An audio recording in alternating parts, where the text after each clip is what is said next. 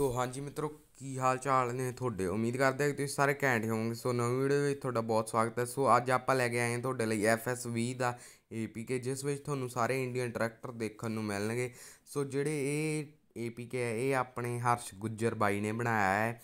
ਸੋ ਇਹਦਾ ਕ੍ਰੈਡਿਟ ਉਹਨਾਂ ਨੂੰ ਜਾਂਦਾ ਹੈ।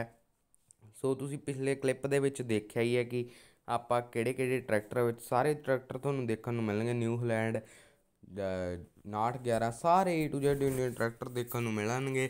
ਸੋ ਹੁਣ ਆਪਾਂ ਥੋੜੀ ਥੋੜੀ ਉਹ ਸਾਰੇ ਟਰੈਕਟਰਾਂ ਦੀ ਗੇਮ ਪਲੇ ਵੀ ਕਰਕੇ ਦਿਖਾਵਾਂਗੇ।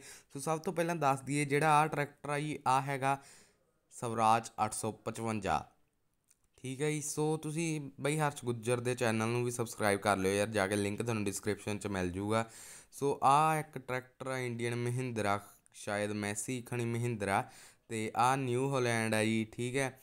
ਅਤੇ ਇਸ 'ਚ ਤੁਹਾਨੂੰ ਸਾਰੇ ਆਹ ਪੂਰਾ ਮੋਡੀਫਾਈਡ ਟਰੈਕਟਰ ਹੈ ਯਾਰ, ਉਹ ਵੇਖੋ ਤੁਸੀਂ ਘੈਂਟ, ਪੂਰਾ ਘੈਂਟ ਲਾਇਆ ਪਿਆ, ਬੰਪਰ ਡੀਜੇ 6911 ਆਹ ਆ ਗਿਆ, ਠੀਕ ਹੈ 6911 ਦੇ ਵੀ ਬੰਪਰ ਡੀਜੇ ਸਪੀਕਰ ਡਿੱਕ ਸਾਰਾ ਕੁਝ ਹੈਗਾ ਵਿੱਚ ਇਹਦੇ, ਸੋ ਗਾਂ ਤੁਹਾਨੂੰ ਇੱਕ ਸਪਰੇਅਰ ਵੀ ਮਿਲ ਜੂਗਾ ਆ ਵੇਖੋ ਤੁਸੀਂ ਆਵੇ ਆ ਸਪਰੇਅ ਵਾਲਾ, ਇਹ ਵੀ ਤੁਹਾਨੂੰ ਮਿਲ ਜੂਗਾ, ਇਹ ਤੇ ਆ ਫੋਰਡ ਖਣੀ ਫਾਰਮ ਟਰੈਕ 60 ਆ ਫਾਰਮ ਟਰੈਕ ਆਈ ਇਸ ਵਿੱਚ ਤੁਹਾਨੂੰ ਸਾਰੇ Indian A to Z APK ਜਿਹੜੇ ਆ, tractor A to Z A tractor ਮਿਲ ਜਾਣਗੇ।